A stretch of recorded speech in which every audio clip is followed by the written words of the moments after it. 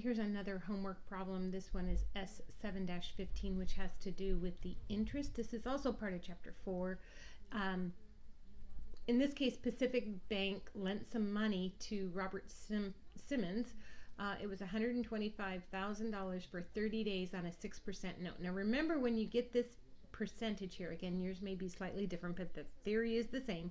This is an annual interest rate. Well, did they borrow the money for an entire year? No, it was only 30 days. Okay, so we want to record the transaction for Pacific Bank. So when we lent the money to Robert Simmons on the 12th, then we are actually going to create a notes receivable on our behalf for $125,000.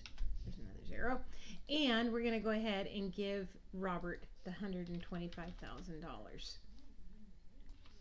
The next thing it asks us to do is to record the entry of uh, the collection of the principal and the interest at maturity. And it says use a 360 day year, so that's fine. So here I'm going to get the cash back. So I'm going to leave that there for just a minute. I'm also going to back out the uh, notes receivable and I'm going to take in some interest revenue. So those are my basic accounts that I'm dealing with here. Now, Robert borrowed 125,000 from us, so that's the easy part. I'm going to go ahead and take that back out of his account.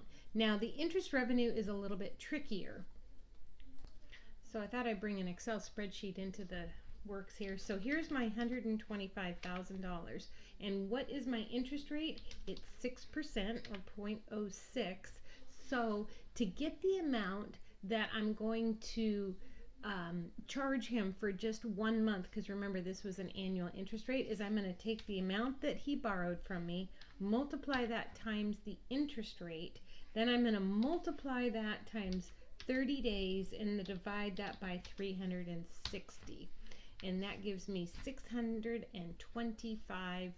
So again, I'm going to take the amount that he borrowed from me at the 6% interest rate and then I'm going to take that for one month divided by three, you know, well, excuse me, 30 days divided by 360. And here they told us that we could use a 360 day just because it makes the dollar amount come out easier. So that is how much interest we're going to charge this guy. And so the amount that I'm going to take in is the amount that he's going to repay me for the original note plus the $625, otherwise known as 125,600 and $25. So the most important part of this one is obviously how I calculated the interest revenue.